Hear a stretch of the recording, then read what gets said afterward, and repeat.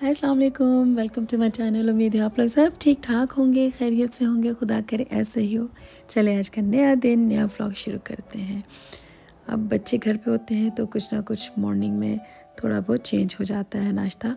तो बस आज मैंने बेटी की फरमाइश थी कि फ़्रेश टोस्ट उसको हमेशा से बहुत पसंद है। तो उसके लिए फ़्रेश टोस्ट बने और ये थोड़े से एग फ्राई कर लिए और साथ में हैश ब्राउन बना लिए थे। हस्बैंड ने अपने वो काम में बिज़ी थे तो वो हमारे साथ नाश्ता नहीं करे थे। हम तीनों ने ही ये इन्जॉय किया, मज़ा आया, उनको हमने ऊपर ही भिजवा दिया था। बस, फिर उसके बाद मैंने ये छोटे छोटे काम करने थे, ये मैंने थोड़े से पराठे बना के रखने हैं और ये थोड़े से समोसे मैंने बनाए, कुछ मैंने दूसरे ट्राइंगल जिस तरह नॉर्मल समोसा था वो, और कुछ मैंने इस तरह इस सांचे से ऐसे वाले बनाने थे, वो बनाए। वो और दूध को उबाला भी दिए, बहुत सारे काम थे जो छोटे छोटे से ये मैंने कहा, कर लूँ, थोड़ा बहुत रमज़ान के लिए ज़रूरी नहीं है कि डेली ये बने, लेकिन कुछ होना चाहिए घर में। तो कुछ रोल है, थोड़े से बना लिए हैं और समोसे हैं, ये भी समोसे ही हैं, लेकिन शेप दूसरी कर ली है। तो जब बने तो उसी वक्त फ्राई करके भी खाने को दिल चाहता है कि देखें कैसे बने। बस ये, और अब ये बनाने लगी हूँ मैं रात के लिए आलू कीमा। उसके लिए मैं ले रही हूँ प्याज चॉप किया हुआ, अदरक, लहसन और ये मैंने गार्निश के लिए रखा है। बाकी स्पाइसेस में नमक, मिर्च, हल्दी, धनिया, ज़ीरा सिनेमन स्टिक और बेलेव ये जाएगा। फ्राई पैन में मैं ऑयल डाला थोड़ा सा क्योंकि मेरा बकरे का कीमा होता है तो वो उसमें ऑयल बहुत निकलता है। तो मैं ये डालना भूल गई थी ऑयल में पहले तो मैंने प्याज डाल दिए, फिर मैंने इसको भी साथ ही डाल दिया। बस इसको हल्का सा मैंने सौते ही किया और उसमें फिर मैंने अदरक, लहसुन का जो मैंने पेस्ट बना के रखा हुआ था चॉप किया हुआ, वो डाल दिया, थोड़ा सा फ्राई किया और उसके बाद मैंने कीमा डाल दिया है। बस इसको भी इसी तरह मैं फ्राई कर लूँगी अच्छा सा। और उसके बाद इसमें चले जाएँगे स्पाइसेस जो मैंने रखे हुए हैं। जिसमें रेड चिली है सॉल्ट है, ज़ीरा है, धनिया है और नमक है। बस ये जाएगा और उसके बाद मैंने टमाटर जो हैं, वो भी मैंने इसको, दो टमाटर लेके मैंने उसको ब्लेंड करके रख लिया था। क्योंकि वैसे डालते हैं तो वो फिर, उसकी जो स्किन होती है, वो आती है स्किन उतार के आप डालना चाहें तो वो डाल दें। मैंने उसको इसलिए ब्लेंड कर दिया था। तो बस ये मसाले डाल दिए और साथ ही इसमें अब टमाटर चला जाएगा।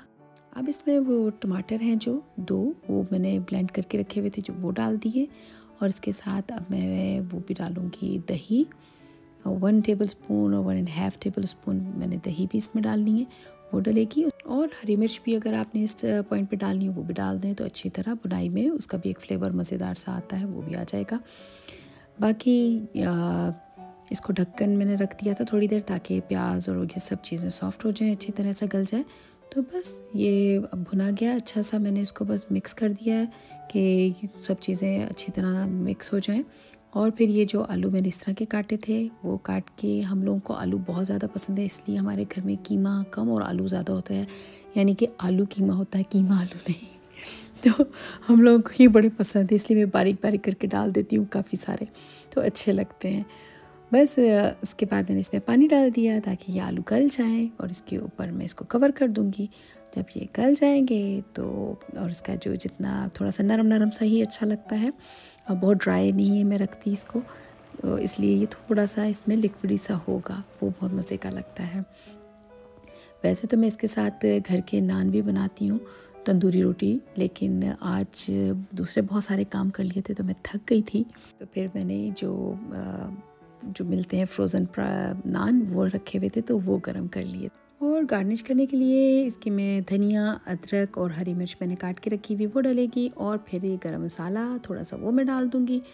ये मज़ेदार सा कीमा हमारा तैयार हो गया। हमारा फेवरेट खाना ये है कि आलू कीमा और साथ में दही फुल्कियाँ दही फुल्कियाँ भी मैं वो जो इसके अंदर डालने के लिए मैं बनाती हूँ घर में बना के, मैंने वो डाली हूँ हल्का सा उसके ऊपर थोड़ा सा मैंने भकार भी ज़ीरे का दे दिया। बड़े ही मज़े का ऊपर चाट मसाला थोड़ा सा डाल दिया।